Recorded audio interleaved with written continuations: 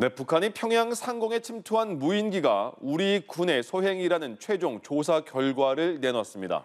네, 침투 주장을 처음 내놓은 지 17일 만인데요. 군 당국은 대꾸할 가치도 없다며 일축했습니다. 최지원 기자입니다.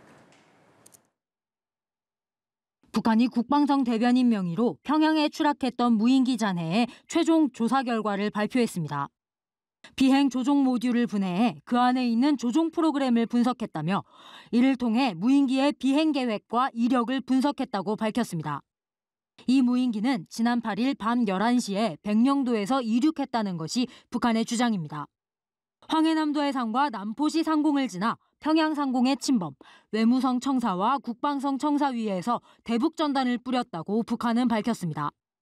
항로를 그린 그래픽을 함께 제시하면서 지난해 6월부터 조종 프로그램에 기록된 238개의 비행 계획과 이력들도 들여다봤다고 했습니다. 지난 8일을 제외한 나머지 비행 이력은 모두 한국의 영역 내에서 비행한 자료들이라고 주장했습니다. 북한 주민들이 읽는 노동신문에도 그래픽과 표로 이러한 조사 결과를 실었습니다. 북한 국방성은 한국군의 소행이라는 주장과 함께 주권 침해 행위가 재발하면 도발 원점은 우리의 공세적 행동에 의해 영영 사라지게 될 것이라고 위협했습니다. 우리 군은 일방적 주장이라며 대꾸할 가치가 없다고 맞받았습니다. 북한의 일방적인 주장에 대해 확인해 줄 가치도 없고 대꾸할 가치도 없습니다.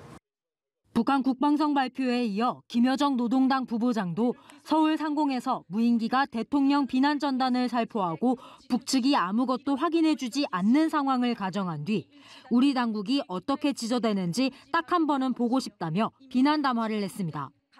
우리 군이 북한의 무인기 침투 주장을 무시하는 태도에 신경질적으로 반응한 동시에 맞대응 차원에서 무인기를 내려보낼 수 있음을 시사했다는 분석이 나옵니다.